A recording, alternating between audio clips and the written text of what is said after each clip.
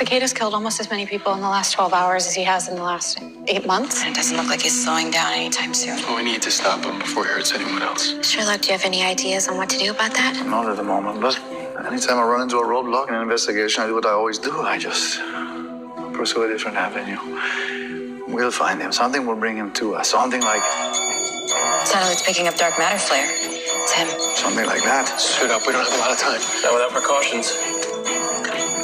For Killer Frost. She doesn't need a weapon. Killer Frost is the weapon.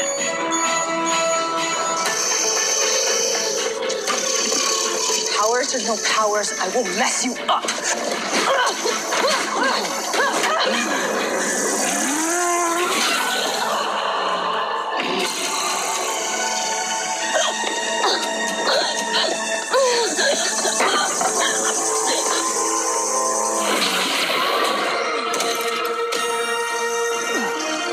Negate this!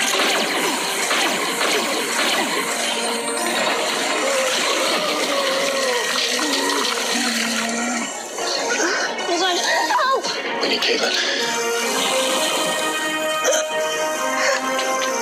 We need to get her to a hospital. Here, help me. Uh.